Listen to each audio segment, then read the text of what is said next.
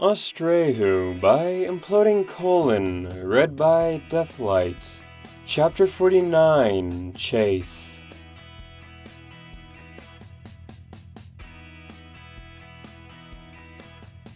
Rainbow squinted.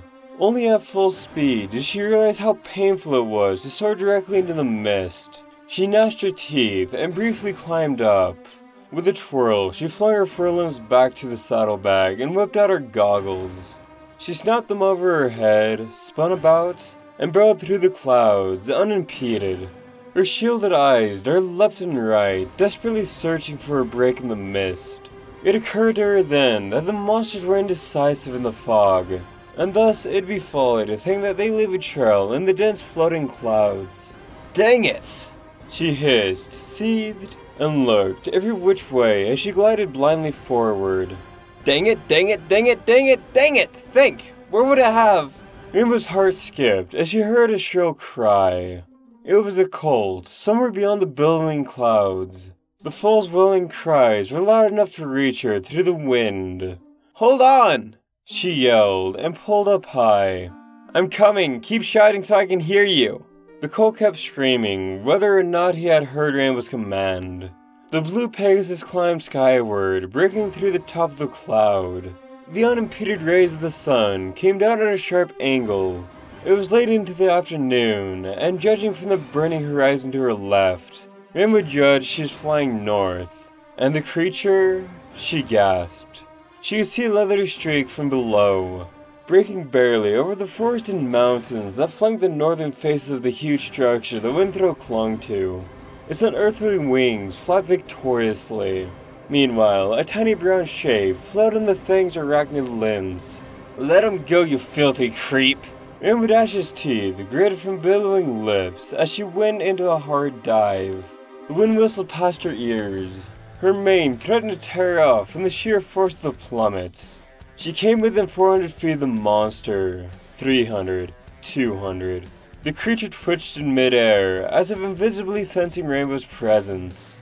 With a loud shriek, it dove low and sliced through the branches and leaves of several trees. Rainbow dipped down and threaded through the forest after it. Twigs, pine cones, and specks of bark went flying. Then, an overturned tree lay in their wake. The creature flew over it, rainbow threaded under, crawled past a mound of dirt, picked up a loose branch, and prepared to clobber the monster from behind. Get ready to kiss the ground, you kid plucker!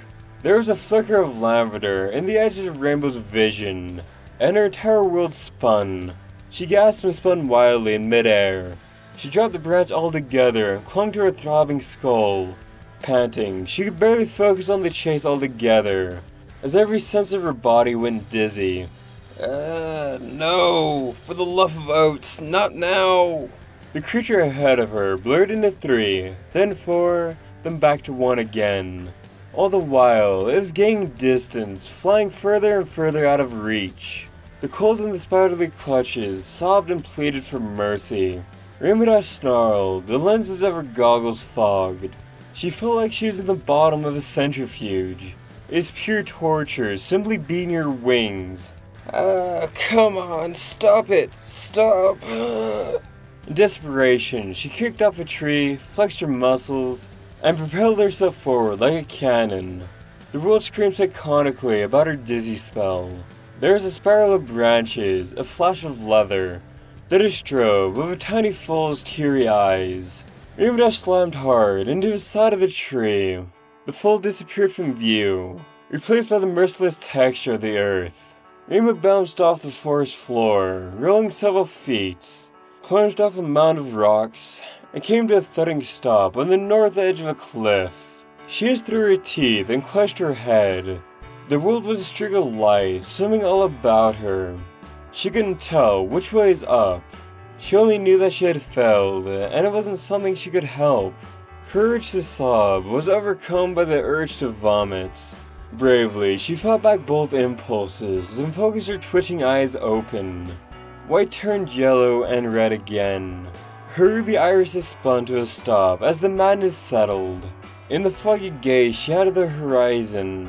A tiny leather dot skimmed its way over the hills and making northeast towards the craggy lines of mountains. Panting, Rainbow Dash forced herself up, her legs wobbled, and her belly dropped low to the earth. She felt like she would implode at any second. A whimper came to her mouth. It swiftly turned into a snarl, then into a yell. It felt like tearing herself through her very flesh, but she managed to take off again. Her flight through the dizziness was an awkward thing, but it was flight nonetheless. With her goggle gaze locked on northeast, she flew as fast as she could after the distant targets.